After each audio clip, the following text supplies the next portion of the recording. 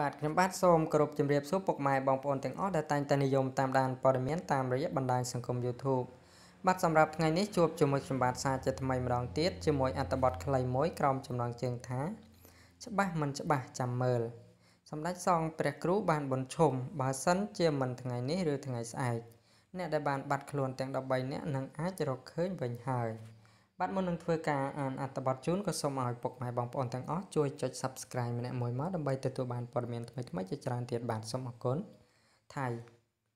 ដោយប្រិយមិត្តបានជ្រាបមកហើយថាការបាត់ខ្លួនរបស់ក្រុមកីឡាករទាំង13នាក់នៅតែទទួលការចាប់អារម្មណ៍ខ្លាំងពីអ្នកលេងបណ្ដាញសង្គមព្រោះតែចង់តាមដានពីហេតុការណ៍បាត់ខ្លួនក្នុងរូងភ្នំថាំលួងខេត្តជើងរ៉ៃនេះជាពិសេសម្នាក់ម្នាក់ពិតជាចង់ឲ្យរកឃើញក្មេងៗទាំងនោះខ្លាំងណាស់ យ៉ាងណាមិញនៅយប់ថ្ងៃទី29ខែមិថុនាឆ្នាំ2018នេះសម្ដេចសង្ឃបានបញ្ឈមបាទជាសង្ឃល្បីឈ្មោះមានកិត្តិយសខ្ពស់បាននិមន្តមកភ្នំនឹងដេកទាំងយប់ដោយមានរថយន្តក្បួនដង្ហែយ៉ាងអធិកធមវត្តមានរបស់សង្ឃអង្គនេះក្រោយពីសម្ដេចព្រះសង្ឃបានបញ្ឈមបានមានសង្ឃដីកាថាព្រះម៉ែនឹងដេក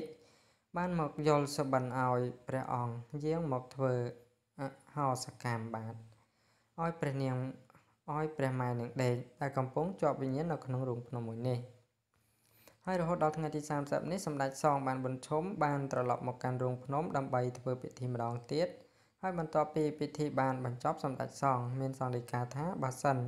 ជាមិនថ្ងៃនេះនៅថ្ងៃស្អែកអ្នកដែលបាត់ខ្លួនទាំង13នាក់នឹងអាចរកឃើញវិញហើយបាទរងចាំទាំងអស់គ្នាបាទចិត្តដល់ហើយពឹកម៉ែបងប្អូនបាទនេះ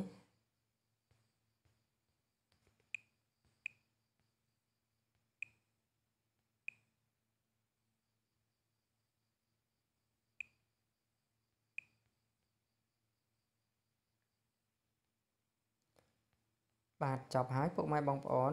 បាទជាចុងក្រោយក៏សូមថ្លែងអំណរគុណចំពោះពុកម៉ែបងប្អូនទាំងអស់ដែលតែងតែចំណាយពេលវេលាដ៏មានតម្លៃតាមដានព័ត៌មានជាមួយខ្ញុំបាទបាទសូមអរគុណសូម